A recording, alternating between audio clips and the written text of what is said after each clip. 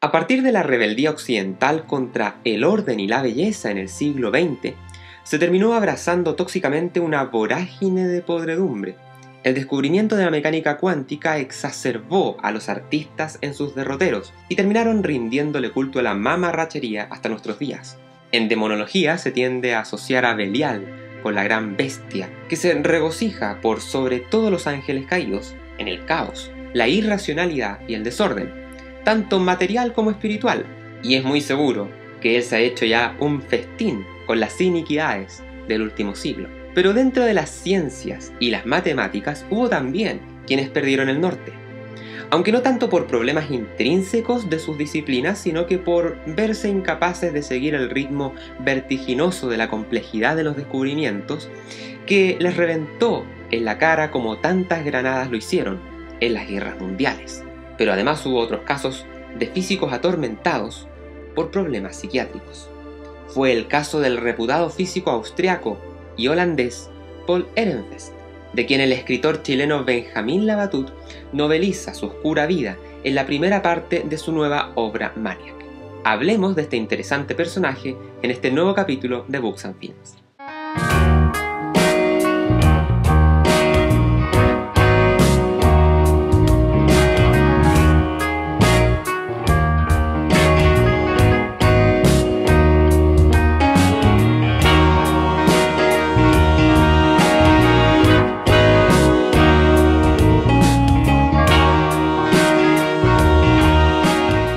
Atendido a la tendencia de mezclar ficción con realidad, es difícil identificar qué es cierto en el relato del chileno Labatut, pero cualquiera haya sido la verdad, retrata bastante bien los tormentos de un físico con depresión en los albores de la mecánica cuántica.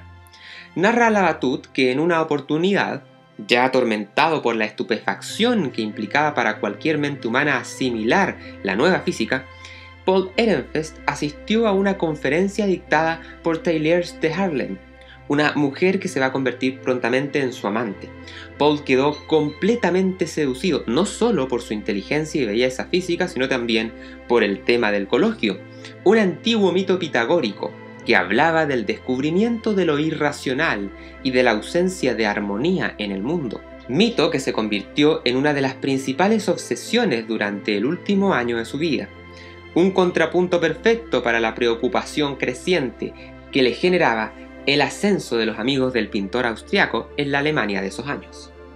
En la naturaleza, observó Nelly, existen cosas tales que exceden cualquier proporción, que no se pueden comparar con otra y que no obedecen a medida alguna, ya que se hallan fuera del orden que subsume a todos los fenómenos. Estas aberraciones, estas anomalías, estas singularidades no pueden ser gobernadas por los números, porque brotarían de la raíz disonante, salvaje y caótica que sostiene nuestro mundo para los griegos, seguía Nelly, develar lo irracional era un crimen imperdonable, un sacrilegio contra todo lo sagrado, y divulgar ese saber estaba penado con la muerte. Nelly describió los únicos dos relatos que han sobrevivido hasta nuestra época sobre el sabio pitagórico que desafió ese fundamento fundamental. En uno, el hombre que había proclamado lo irracional es exiliado de su comunidad, sus amigos cavan una tumba y colocan una lápida con su nombre, como si ya estuviese muerto. En el otro, el sabio es ahogado entre las olas del mar por miembros de su propia familia, o quizá por los mismos dioses encarnados en los cuerpos de su esposa y sus dos hijos. Según Nelly, si llegabas a descubrir algo que rompía con la armonía de la naturaleza, algo que negaba por completo el orden natural, jamás debías hablar de eso, ni siquiera contigo mismo. Al contrario, tenías que hacer todo cuanto estuviese a tu alcance para borrarlo de tus pensamientos, purgar tu memoria, vigilar cada una de tus palabras e incluso montar guardia durante tus sueños, para evitar que la ira de los dioses cayera sobre ti. La armonía de la naturaleza debía ser preservada sobre todas las cosas porque era más antigua que los titanes, más sabia que el oráculo, más venerable que el monte Olimpo, y tan sacrosanta como la energía que recorre y anima el cielo, la tierra y el inframundo. Reconocer incluso la mera posibilidad de lo irracional, aceptar su desproporción y su falta de armonía, pondría en riesgo el tejido de la existencia, ya que no solo nuestra realidad, sino que cada uno de los aspectos del cosmos, sean físicos, mentales o etéreos, dependerían de los hilos invisibles, de la red que ata todas las cosas. Este tabú no era solamente una preocupación de los antiguos, explicaba Nelly en su conferencia, sino que se hallaba en el corazón de la civilización occidental. La ciencia exige que seamos capaces de pensar en la naturaleza como si fuese una totalidad. Uno empieza por clasificar los aspectos más simples del mundo, el vehemente zarcillo de la enredadera, las torpes alas del escarabajo, la escama sagrada de la serpiente, etc., continúa ordenando estos fenómenos según su especie, género, familia, orden, clase, filo, reino y dominio, trabajando todo el tiempo bajo el supuesto de que cada pluma, ala, raíz, rizoma, tentáculo y apéndice cabrá dentro de ese orden, ocupando el lugar que le atañe en el sistema que abarca nuestro universo entero, fruto de una sabiduría honda y misteriosa que subyacería a las formas manifiestas y sostendría los aspectos latentes de la existencia. Esta es una manera bastante notable, por parte de Labatut, de relatar algunos de los fundamentos filosóficos de la ciencia contemporánea. Pero tal vez las cosas no funcionaban de esa manera, advertía Nelly en su conferencia.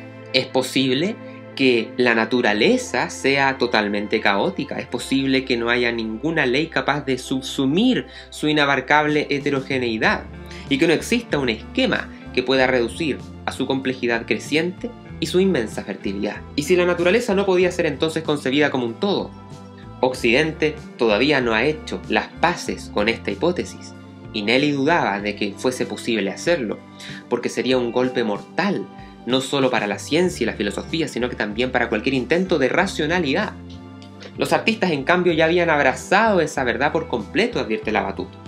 Nelly creía que el redescubrimiento de lo irracional era la fuerza que impulsaba todos los movimientos de vanguardia, movimientos que incluso, a ojos de un observador lego, parecían estar poseídos por una energía fáustica, sin límites, una aceleración que los llevaba, de forma inevitable, hacia una trágica caída en la cual absolutamente todo estaba permitido porque el arte moderno no reconocía ninguna regla, ningún método, ningún límite o verdad.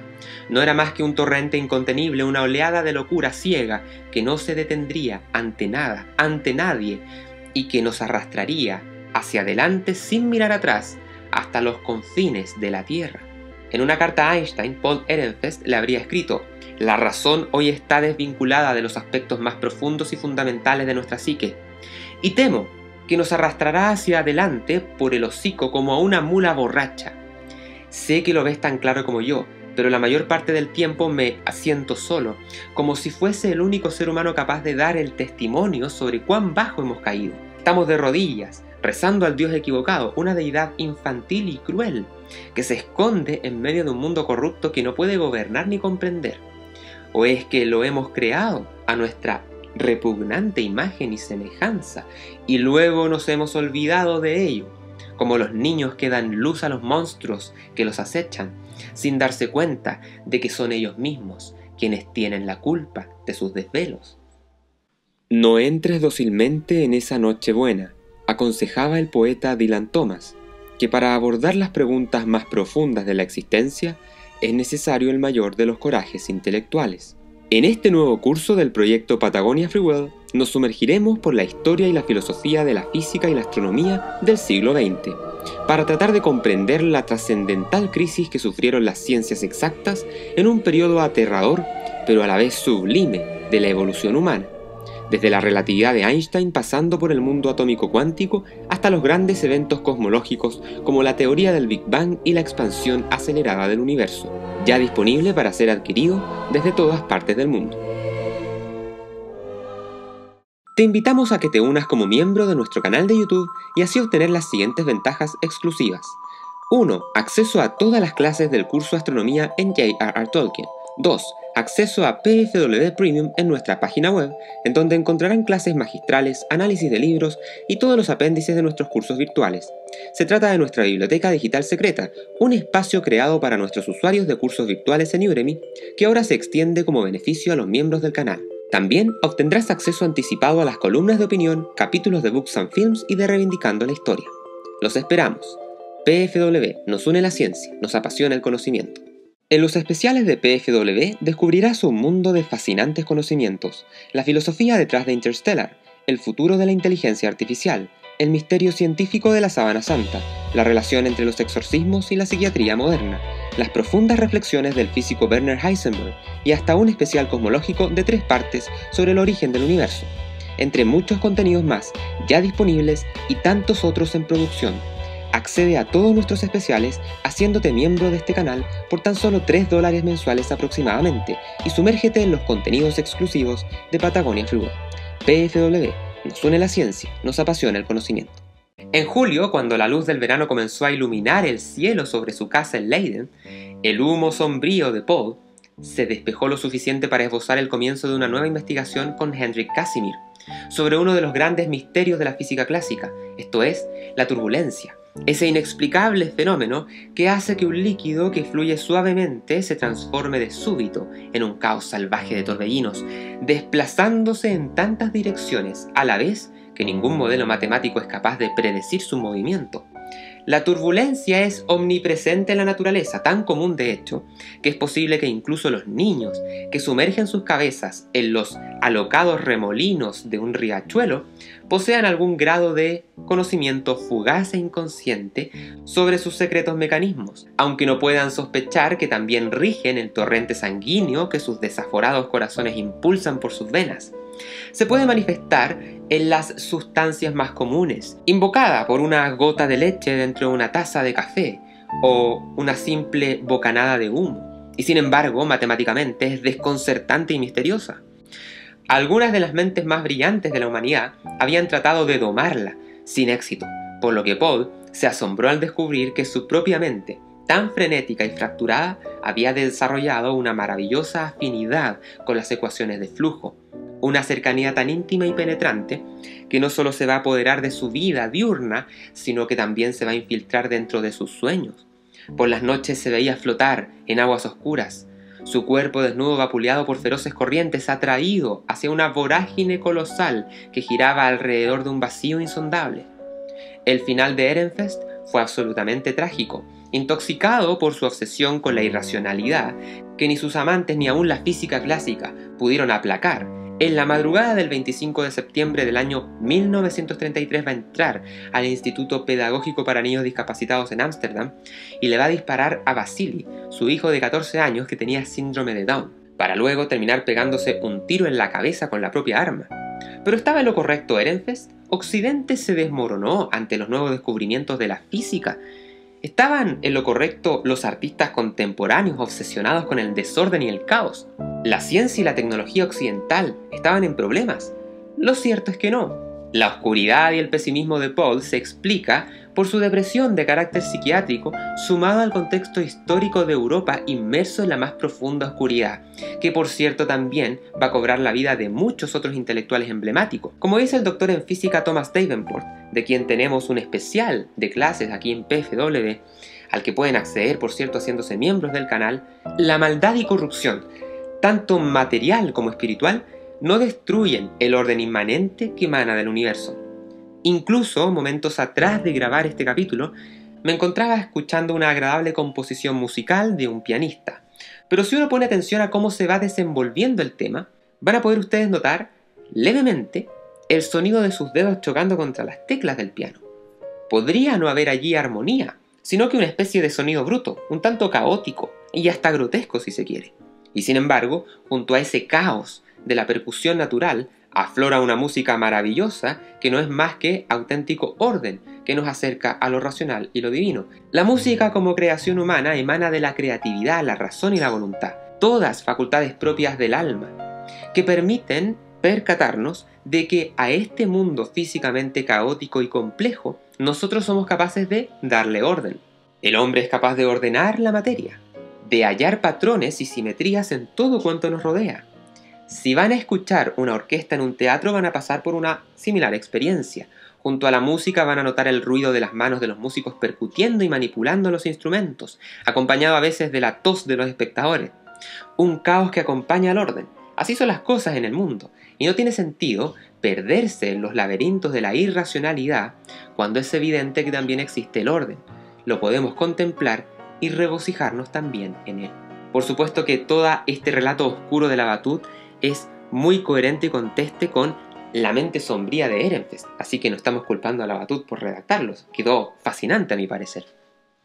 Pero todavía más, es válido preguntarse si el orden puede emerger de la aleatoriedad. ¿Es acaso que el azar inherente a la mecánica cuántica implica que la naturaleza carece de patrones y propósitos y también de objetivos? ¿Es la naturaleza fundamentalmente desordenada? No, responde tajante el físico Davenport. De hecho, el orden suele acompañar en la naturaleza al desorden. Si pones 7 pelotas de ping-pong dentro de una caja, las agitas y después las dejas en reposo, es posible que se haya generado un patrón hexagonal entre ellas, con una en medio, debido a la simetría de las esferas y a la tendencia física de la minimización de la energía. Curiosamente, es el número 7, portador de un poderoso simbolismo religioso. En física, explica Davenport, se producen con frecuencia complejas e interesantes simetrías matemáticas que intervienen en la forma en que entendemos qué son los electrones, los quarks y otras partículas fundamentales. Estas simetrías, en cierto sentido, se descomponen cuando estas partículas se combinan para formar protones y neutrones y finalmente átomos pero al hacerlo revelan a su vez otras simetrías que podríamos llamar inferiores, del tipo que encontramos en la tabla periódica, que son más nuevas y en muchos sentidos más variadas. Esas nuevas simetrías también se descomponen a medida que los átomos se organizan en moléculas, revelando ahora nuevos patrones, formas y simetrías nuevas, pero esta vez dentro de la química, preparando el camino para la diversidad y belleza que observamos a nivel macro. Es cierto que el movimiento y la actividad de los componentes individuales suelen ser aleatorios y bastante imprevisibles, pero los patrones que surgen suelen ser muy estables. Davenport explica que incluso a nivel cosmológico, justo después del Big Bang, hace aproximadamente 13.800 millones de años, el universo era un caos cuántico, por lo que si pudiéramos rebobinar la cinta de los acontecimientos y le pusiéramos play nuevamente a nuestro universo, es probable que un gran número de cosas se desarrollen de una manera muy distinta, producto de las fluctuaciones cuánticas aleatorias en el universo primitivo. Ahora bien, gran parte de la estructura y naturaleza del universo seguramente, para sorpresa de algunos, va a seguir siendo exactamente la misma. Por ejemplo, la materia que compone el cosmos estaría de todos modos distribuida en fotones, electrones y quarks, con las mismas propiedades y proporciones, a pesar de que la ubicación y distribución de estrellas y galaxias varíen. En suma, existen muchos procesos en el mundo natural que son caóticos y aleatorios, pero eso no significa que el mundo natural sea del todo aleatorio que sea fundamentalmente desordenado, ni menos ininteligible. De hecho, como hemos visto, en un nivel, el azar suele dar lugar a un orden en un nivel distinto. Y la forma en que el orden parece surgir del azar en el mundo natural es casi siempre una señal de orden y de una estructura más profunda que no siempre podemos percibir en un principio. De esta manera, al abandonar la presunción de que el orden y la inteligibilidad significan una especie de precisión y previsibilidad como la de un reloj, hemos llegado incluso a comprender verdades mucho más profundas sobre el orden, la estructura y las causas presentes en nuestro universo.